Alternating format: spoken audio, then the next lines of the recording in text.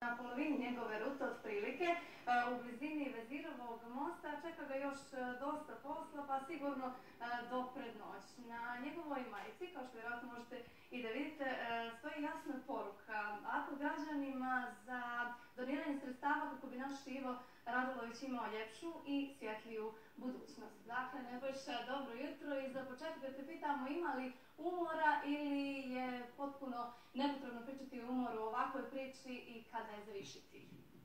Prije svega dobro jutro Nataša tebi i gledalcima. Pa nijesam još stigao da se umorim s obzirom na to da sam tek se upustio u ovu avanturu, a bojim se da će ga biti, znači 50 km koliko sam planirao danas da prepješačim nije baš malo, ali eto, računam da ću uz karakter i uz, ajde da kažem, neku solidnu kondicionu spremu uspjeti da ostvarim taj cilj. E, 11 puta ću naime preći relaciju od e, svog doma na Zlatici do radnog mjesta, odnosno grada televizije Crne Gore. E, jedna dužina je 4 km i 600 metara, dakle puta 11, to imamo tih 50 km. Vjerujem, kažem da ću, da ću izdržati, nadam se da će i noge poslušati. Jesi li se pripremio, jesi li ponio nešto sa sobom što će ti olakšati put? Pa pravo da ti kažem, razmišljao sam naravno o tome. E, snalazit ću se uzgred, znaš, jer s obzirom na to da, da ovaj, e, bi mi sve predstavljalo teret. Kupovat ću nešto uzgred što se tiče hrane i vode, tako da na taj način ću pokušati eto, da nadomjestim i tu energiju i tačnost. Odakle ideja za ovakav poduhvat? Pa, pravo da ti kažem, e, inicirao me uh, atletičar Momčilo Pejović. Dakle, koliko sam upoznat, on je u tri navrata do sada trčao na relaciji Cetinje Podgorica, Nikšić Podgorica, Danilograd Podgorica, sva tri puta u humanitarne svrhe. Tako da sam pomislio, a zašto ne bih ja makar pješačio ako ne trčao, do duše 50 km, eto nešto duža, da kažemo, relacija, ali eto, to je, Momčilo je bio taj koji me inicirao i podstakao na ovaj poduhvat. Ti si također uh, punio i knjige sa sobom u slučaju da ti se neko pridruži. Jeste, jeste. To je ideja koja mi je faktički pala u posljednjem trenutku na pamet.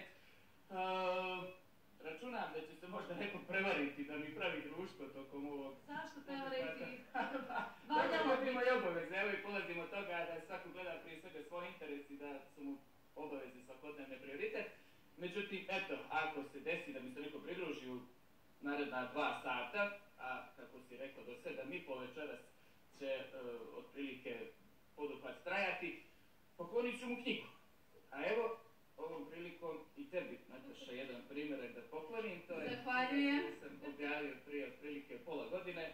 Izvoli, imaš hvala, posvetu. Hvala mnogo, pročitat ću posvetu nakon uključenja.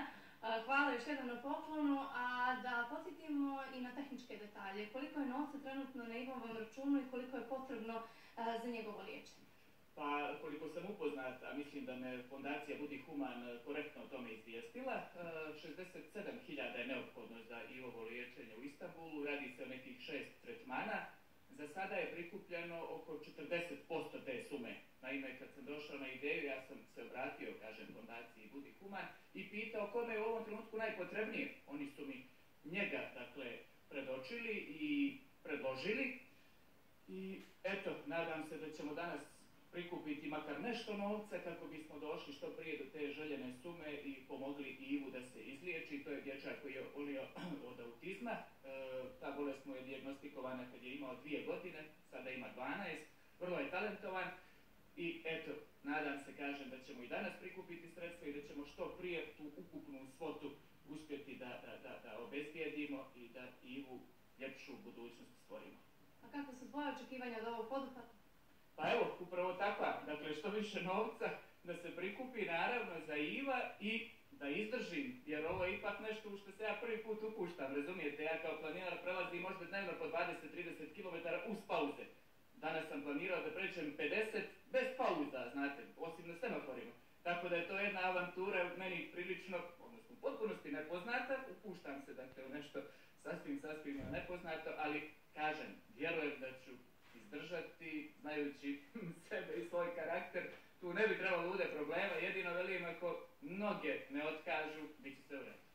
Naravno da neće, vjerujemo u tebe. Hvala ti, ostavljamo te da e, ispuniš svoju humanu misiju i želimo ti mnogo sreće. Hvala ti Nataša, svako dobro i tebi, pozdrav gledalcima. Hvala još jednom, a ovo uključenje nećemo završiti standardno e, najavom narednog, ćemo poslati poruku e, i ispuniti onu misiju i podstaći naravno vas da prosto probudite tu stranu humane ličnosti. Dakle, e, 25 na 14543 upravo je poruka poslata.